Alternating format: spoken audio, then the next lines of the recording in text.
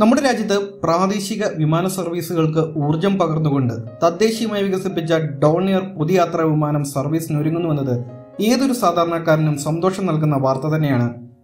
വൈമാനിക രംഗത്ത് ഇന്ത്യയുടെ അഭിമാനം വാനോളം ഉയർത്തുന്ന വിമാനം തന്നെയാണ് ഡോണിയർ ടു ടു എയ്റ്റ് അഥവാ ഹിന്ദുസ്ഥാൻ ട്വന്റി ടു എയ്റ്റ്. പൊതുമേഖലാ സ്ഥാപനമായ ഹിന്ദുസ്ഥാൻ എയറോനോട്ടിക്സ് ലിമിറ്റഡ് നിർമ്മിച്ച വലിപ്പം കുറഞ്ഞ സിവിൽ ട്രാൻസ്പോർട്ട് വിമാനമായ ഹിന്ദുസ്ഥാൻ ടു ടു എയ്റ്റ് ഉപരിതല പരീക്ഷണയോട്ടം വിജയകരമായി പൂർത്തിയാക്കിയിരിക്കുകയാണ്. പത്തൊമ്പത് സീറ്റുകളുള്ള ഈ വിമാനം പ്രാദേശിക സർവീസുകൾ മെച്ചപ്പെടുത്തുവാൻ ഉദ്ദേശിച്ചിട്ടുള്ള ഉഡാൻ പദ്ധതിയുടെ ഭാഗമായി മാറുകയാണ്. യാത്രാ വിമാനമായും air ambulance cloud seeding cargo തുടങ്ങിയ മറ്റ് ആവശ്യങ്ങൾക്കായും ഇത് ഉപയോഗിക്കുവാൻ സാധിക്കും. പൂർണമായും എച്ച് എയിൽ നിർമ്മിക്കുന്ന ഈ വിമാനം ഡോർണിയർ ടു ടു എയ്റ്റ് ഉടൻ തന്നെ പറക്കാൻ ആരംഭിക്കും എന്ന് തന്നെ നമുക്ക് പ്രതീക്ഷിക്കാം.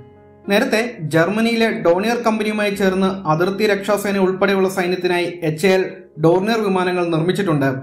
ആയിരത്തി തൊള്ളായിരത്തി എൺപത്തി അഞ്ചിൽ ആരംഭിച്ച ഈ ഒരു സംയുക്ത സംരംഭത്തിൽ ഇതുവരെ നൂറ്റി ഇരുപത്തിയഞ്ചോളം വിമാനങ്ങൾ എച്ച് എൽ നിർമ്മിച്ചിട്ടുമുണ്ട്. നേരത്തെ ഇത് പുറത്തുനിന്ന് ഉൾപ്പെടെയുള്ള ഭാഗങ്ങൾ കൂട്ടിച്ചേർത്ത് നിർമ്മിക്കുന്നവയായിരുന്നു.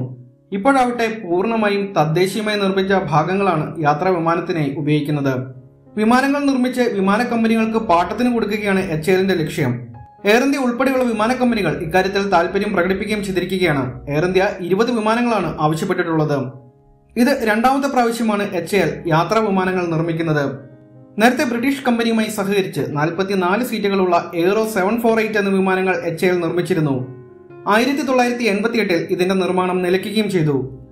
ഇനി ഡോണിയർ നിർമ്മാണത്തിൽ മാത്രം ശ്രദ്ധ കേന്ദ്രീകരിക്കാനാണ് എച്ച് എല്ലിന്റെ തീരുമാനം.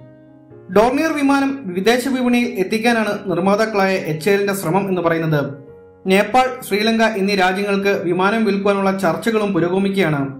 നേരത്തെ യൂറോപ്പിൽ കൊമേഴ്ഷ്യൽ റീജിയണൽ വിമാനമായിട്ട് ഉപയോഗിക്കാനുള്ള അനുമതി എച്ച് എല്ലിന് ലഭിച്ചിരുന്നു. European Union aviation agency D G സിയുടെ സർട്ടിഫിക്കറ്റ് അംഗീകരിക്കുകയും ചെയ്തിട്ടുണ്ട്. ഇതോടെ യൂറോപ്പിൽ വാണിജ്യ ആവശ്യങ്ങൾക്കായി ഡോണിയർ ടു ടു എയ്റ്റ് ഉപയോഗിക്കാനും പറ്റും. ജർമ്മൻ കമ്പനിയായ ഡോർണിയർ തന്നെയാണ് വിമാന നിർമ്മാണത്തിനുള്ള പ്രവർത്തനങ്ങൾ ആരംഭിച്ചത്. സർക്കാർ അനുമതി നേടി ആയിരത്തി തൊള്ളായിരത്തി എൺപത്തി ഒന്നിൽ ആദ്യ യാത്രാ വിമാനം പുറത്തിറക്കി. ആയിരത്തി തൊള്ളായിരത്തി എൺപത്തിനാലിൽ ബ്രിട്ടീഷ് അമേരിക്കൻ സിവിൽ ഏവിയേഷൻ അതോറിറ്റികളുടെ സർട്ടിഫിക്കേഷൻ നേടിയതോടെ വിമാനത്തിന് ആവശ്യക്കാരുമായി. ആയിരത്തി തൊള്ളായിരത്തി എൺപത്തി മൂന്ന് മുതലാണ് എച്ച് എൽ ഡോർണിയറിന്റെ സാങ്കേതിക പങ്കാളികളായത്. ആയിരത്തി തൊള്ളായിരത്തി എൺപത്തിയഞ്ചിൽ ആദ്യ വിമാനം എച്ച് എൽ നിർമ്മിച്ചു. രണ്ടായിരത്തി പതിനാല് വരെ സൈന്യത്തിനും മറ്റുമായി നൂറ്റി ഇരുപത്തിയഞ്ച് വിമാനങ്ങൾ നിർമ്മിക്കുകയും ചെയ്തു. ആയിരത്തി തൊള്ളായിരത്തി തൊണ്ണൂറ്റി ആറ് മുതൽ വിമാനം നിർമ്മിക്കുന്ന മുഴുവൻ പ്രവർത്തനങ്ങളും ഇന്ത്യയിൽ തന്നെയായി. രണ്ടായിരത്തി പതിനാലിൽ എച്ച് എൽ ഇന്ത്യൻ നേവിക്ക് വേണ്ടി ആയിരത്തി അറുന്നൂറ് കോടി രൂപ മൂല്യമുള്ള പന്ത്രണ്ട് വിമാനങ്ങളുടെയും രണ്ടായിരത്തി പതിനഞ്ചിൽ ഇന്ത്യൻ എയർഫോഴ്സിനു വേണ്ടി ആയിരത്തി തൊണ്ണൂറ് കോടി രൂപയുടെ പതിനാല് വിമാനങ്ങൾക്കുള്ള ടെൻഡറും നേടിയിരുന്നു. ഇപ്പോൾ ഉൽപ്പാദിപ്പിക്കുന്ന വിമാനം ആദ്യത്തതിനേക്കാൾ മുന്നൂറ്റി അൻപതിലേറെ മാറ്റങ്ങളുള്ളതാണ്. അത്യാധുനിക സൗകര്യങ്ങൾ ഉള്ളതുകൊണ്ട് തന്നെ ഒരു പൈലറ്റ് മാത്രമായും സർവീസ് നടത്തുവാൻ സാധിക്കും. ഇരട്ട എഞ്ചിനുള്ള വിമാനത്തിൽ പത്തൊമ്പത് പേർക്കാണ് സഞ്ചരിക്കുവാൻ സാധിക്കുക. മൂവായിരത്തി എഴുന്നൂറ്റി മുപ്പത്തി ഒമ്പത് കിലോഗ്രാമാണ് ഭാരം. ആറായിരത്തി നാനൂറ് കിലോഗ്രാം ഭാരം വഹിക്കാനും സാധിക്കും.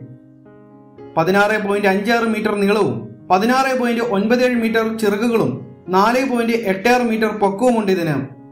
Garrett T P E three three one എഞ്ചിനുകളാണ് ഉപയോഗിക്കുന്നത്. മണിക്കൂറിൽ അഞ്ഞൂറ്റി പത്തൊമ്പത് കിലോമീറ്റർ ആണ് പരമാവധി വേഗമെന്ന് പറയുന്നത്. സാധാരണ ഭാരവും വഹിച്ച് മുന്നൂറ്റി എഴുപത് മുതൽ നാനൂറ്റി പതിമൂന്ന് കിലോമീറ്റർ വരെ വേഗത്തിൽ ഇതിന് പറക്കുവാനും സാധിക്കും. എന്തായാലും വൈമാനിക രംഗത്ത് ഇന്ത്യയുടെ അഭിമാനം വാനോളം ഉയർത്തുന്ന വിമാനം തന്നെയാണ് ഹിന്ദുസ്ഥാൻ ടു ടു എയ്റ്റ്. പ്രതിരോധ സേനകൾ മാത്രം ഉപയോഗിക്കുന്ന വിമാനത്തിൽ ഇനി യാത്രക്കാർക്കും പറക്കാമെന്നത് ഏതൊരു സാധാരണക്കാരനും സന്തോഷം നൽകുന്ന വാർത്ത തന്നെയാണ്.